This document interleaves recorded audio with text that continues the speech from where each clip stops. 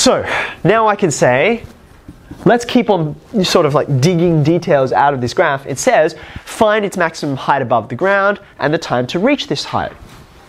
Did you go ahead and work out where the vertex was?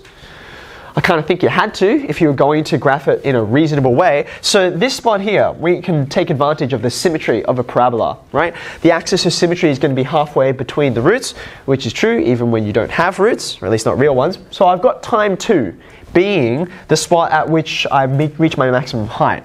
I'm interested in displacement, which is which of the functions? Which function? It's the first one, which is x, right? So I'm going to say x, using function notation again, at time 2 and you can plug it in and hopefully you get, well let's see here, 40 minus 5 times 2 squared. Which is why in fact I actually had to work this out beforehand so that I knew this graph would be reasonably accurate, okay? Right, so have I answered the question at this point? I just need to have some units on there because it's not centimeters, it's not kilometers, it's meters. Find the acceleration at the top of the flight. So the top of the flight is that point we just bothered finding just now, right? Find the acceleration at the top of the flight. Well, have a look at your acceleration graph. What's acceleration doing? It doesn't change ever. It's constant, right? So no, it didn't matter whether you asked whether it was at the top of the flight or at the bottom or when it hits the ground. The acceleration is always negative 10 meters, right? So part D, because this question is in words, I'd like to say the acceleration in words is, have a look. Like I had earlier, right? I can say it's accelerating downwards at, now I haven't talked about this yet, but we just talked about the units of displacement, the units of velocity. What are the units of acceleration? Hmm. So, oops, negative. My length unit is going to be meters. That hasn't changed. But remember, I'm going to go back to it. Uh, right here. Remember, acceleration, we find that by, oh, I froze it. Sorry. Thank you. There we go. We found acceleration by differentiating with respect to time a second time, right? On a second occasion. So therefore, our time unit is not just going to be per second, it's going to be per second per second. In fact, that's sometimes the way people say it. Meters per second per second. That's a little bit awkward and harder to write. So people will say per second squared, right? You will also see this written, being that this per, right? It's division, it's a fraction after all. You will also see this written as negative 10 meters per second negative 2 right? Because that they mean the same thing. It's just using index notation, okay? So you're going to have to get used to seeing that and recognizing, or accordingly, up the top here, how could I write velocity instead of using that notation? Yeah, it's 20 meters per second, and that's how I write the per part of it, okay? Because that just means take the fraction part. Yes, Mrs. If you said acceleration is downwards, do you mean the negative? Oh, yeah, I don't actually, because I, thank you. Ugh. I describe direction using words, so I don't need to put the negative sign because the negative sign, it's yeah, exactly. It's yeah, good call. So, are you okay with that? I've described the direction. I've described its magnitude. That's all I need for a vector. Uh, what was the question? Was there a question attached to that? Uh, oh, so We've established that acceleration is not changing at any given point. Uh, it's always downwards at 10 meters per second per second, okay? So how can it be that at that point you're not going anywhere? Because velocity is zero at this point, right? In fact, what do we call a point like this? When we first introduced geometrical applications of calculus, what do we call a spot like that?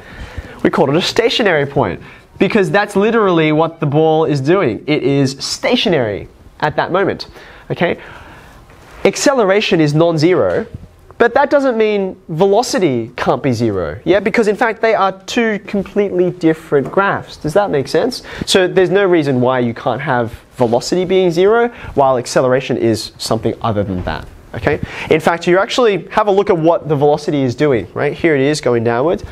It's changing sign from positive, you're moving upwards, to negative, now you're moving downwards. But acceleration this entire time has always been downwards. It's always been, well, we talked about gravity before, right? And that doesn't change, at least while we're standing on the surface of the Earth. All right, we're up to the last part, right? Party. When is the ball height 15 meters and what are its velocities then? So you can kind of tell by the way they've given you this plural language within the question that there's not one but two spots where this happens. And you have a look at your graph, you might like to put an extra bit on here. Where's 15 going to be? Somewhere like here. Zoop. So here are my two spots, right? I'm expecting one before time two and one after time two. So how do I find, how do I solve this question? How do I actually, yeah, look at those locations? Well, if what I know about this is it's when displacement is 15, then the place I'm going to go in all my equations is the displacement equation, right? You've got so many equations flying around. A big part of how you're solving this question is working out which one you actually need. So I want to say there's the displacement equation. And I'm interested when that is equal to. A good question. 15. Thank you. Uh, it's just a quadratic. I might rearrange this and divide, make it a little simpler. So I think I can do this. Mm. Can someone go ahead and factorize for me? Oops, what am I doing? That's a T. Like, I've, uh, that's it. I got my numbers switched around. Is that right? Minus 14. Uh, yeah, that's switch sides. I did too many things in one go. Can someone factorize for me now that we have the right equation? Now, when you factorize this, you do your sense check and does it look like what your graph is telling you? Looks pretty good, right? Remember we said we're expecting a time before 2 and a time after 2. Uh, bingo, that looks pretty good. If you drew your graph of reasonable accuracy, then you would confirm that as well. So I've got time 1 or 3. Have I answered the question at this point? I need to find the velocities at these times, right? So I'm just going to say V1 and V3. You go ahead and you can work them out. There's my equation there. What'd you get? 10 minus 10, negative So I need units on these, right? Because I've said it's a velocity. In fact, I need units on all these. Uh, time one second, and this is meters per second. By the way, do you notice the symmetry again? Right? We noticed this at ball launch and at ball landing. We saw this symmetry here. Why do you think we have the same symmetry when we have a look at when we're at height 15? What do you think is going on?